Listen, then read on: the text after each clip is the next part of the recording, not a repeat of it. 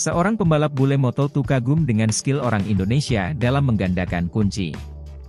Bahkan bule ini bingung kunci tersebut mampu digandakan dalam waktu 10 menit. Pembalap Moto2 itu diketahui bernama Alonso Lopez Gonzalez.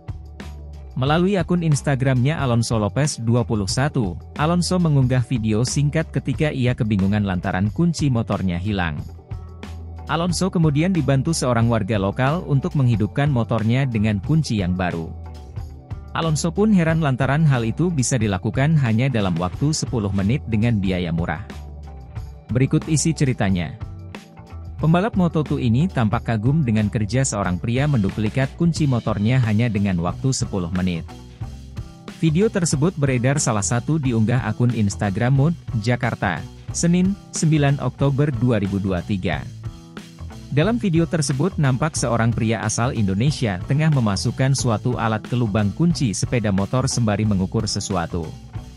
Tak lama, pria tersebut memegang sebuah kunci dan mengukirnya di samping motor dan sesekali menyamakan dengan kunci sepeda motor lainnya.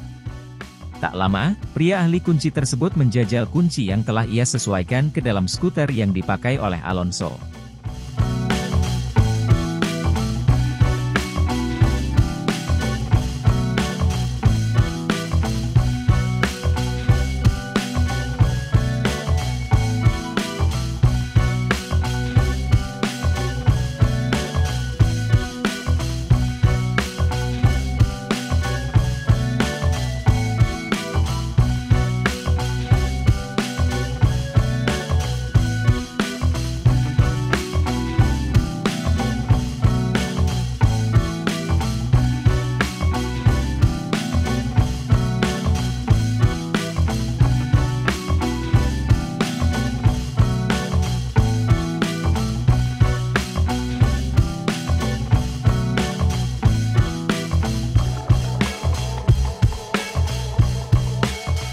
Download Tribun X sekarang.